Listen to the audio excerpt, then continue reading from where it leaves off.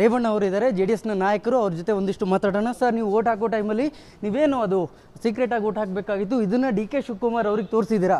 ಹಾಗಾಗಿ B J P ನಿಮ್ಮ ವಿರುದ್ಧ ಒಂದು ಕಂಪ್ಲೇಂಟ್ ಮಾಡಬೇಕು ಅಂತ ಒಂದು ನಮ್ಮ ಪಾರ್ಟಿ ಪುಟ್ಟರಾಜಿ ತೋರಿಸ್ಬಿಟ್ಟು ಹಾಕಿದ್ರಿ ನೀವು ಪುಟ್ಟರಾಜು ಅವ್ರ ಜೊತೆ ಡಿ ಕೆ ಶಿವಕುಮಾರ್ ಅವ್ರಿಗೆ ತೋರಿಸಿದ್ದೀರಾ ಅನ್ನೋದು ಬಿ ಜೆ ಪಿ ಅವ್ರು ಹೇಳ್ತಾರೆ ಇಲ್ಲ ಇಲ್ಲ ನಾವು ಯಾವುದು ತೋರಿಸಿಲ್ಲ. ನಾನು ಯಾಕೆ ತೋರ್ಸೋಕೆ ಹೋಗಿ ಅವ್ರ ಹತ್ರ ಅವ್ರಿಗೆ ಯಾಕೆ ತೋರ್ಸೋಕೆ ಹೋಗಿ ತೋರಿಸಿದ್ರೆ ಅಲ್ಲೇ ಕಂಪ್ಲೇಂಟ್ ಕೊಡಬೇಕಲ್ಲ ಬಿ ಜೆ ಪಿಯವರು ಅಲ್ಲೇ ಕಂಪ್ಲೇಂಟ್ ಆಗಲೇ ಕೊಡಬೇಕಲ್ಲಪ್ಪ ಯಾರು ನಾನೇ ಯಾಕೆ ತೋರಿಸಬೇಕು ಉಪೇಂದ್ರ ಕುಪೇಂದ್ರ ರೆಡ್ಡಿ ಅವರು ಗೆಲ್ತಾರೆ ಹಂಡ್ರೆಡ್ ಪರ್ಸೆಂಟ್ ಗೆಲ್ತಾರೆ ಅಂತ ವಿಶ್ವಾಸ ಇದೆಯಾ ಸರ್ ನಿಮಗೆ? ಯಾಕಂದರೆ ಬಿ ಜೆ ಪಿ ಅವರೆಲ್ಲ ನೋಡ್ರಿ ಕಾಂಗ್ರೆಸ್ಸು ರಾಷ್ಟ್ರೀಯ ಪಕ್ಷ ಕೋಮುವಾದಿಗಳು ದೂರ ಇಡಬೇಕು ಅಂತ ಓಟ್ ಹಾಕಿ ನೂರಕ್ಕೆ ನೂರು ರೂಪಾಯಿ ಗೆಲ್ತೀವಿ ಸಪೋರ್ಟ್ ಮಾಡ್ತಾರಾ ಸರ್? ಯಾಕಂದರೆ ಒಂದಿಷ್ಟು ಈಗ ಕಾಂಗ್ರೆಸ್ ನಾಯಕರು ಕೂಡ ಅಂದರೆ ಎಸ್ಪೆಷಲಿ ಸಿದ್ದರಾಮಯ್ಯ